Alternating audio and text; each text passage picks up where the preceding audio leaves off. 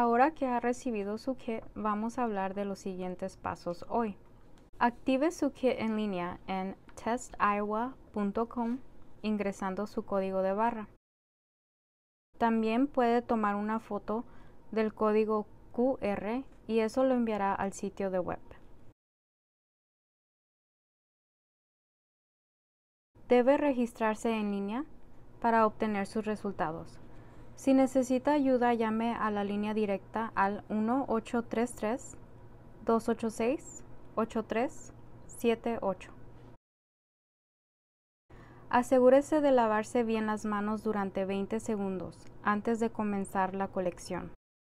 No coma, beba, fume, ni se cepille los dientes ni mastique chicle durante 30 minutos antes de colectar la muestra.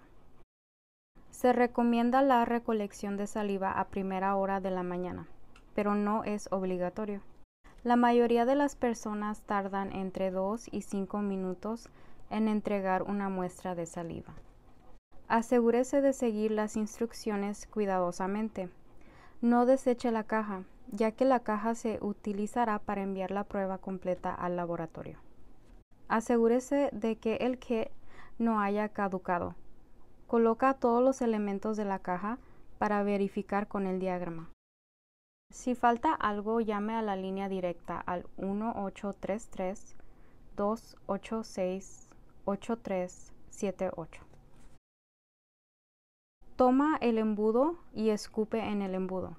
Llena el tubo con saliva, sin incluir burbujas, hasta la línea ondulada negra. No sobrellene el tubo. Desenrosque el embudo del tubo. Descarta el embudo. Ahora tomarás la tapa con el líquido azul. Empuje y gire la tapa con el líquido azul sobre el tubo. Esto puede tomar algo de fuerza. El líquido en la tapa se liberará en el tubo para mezclarlo con la muestra. Apriete firmemente la tapa para asegurarse de que la tapa y el tubo estén completamente sellados.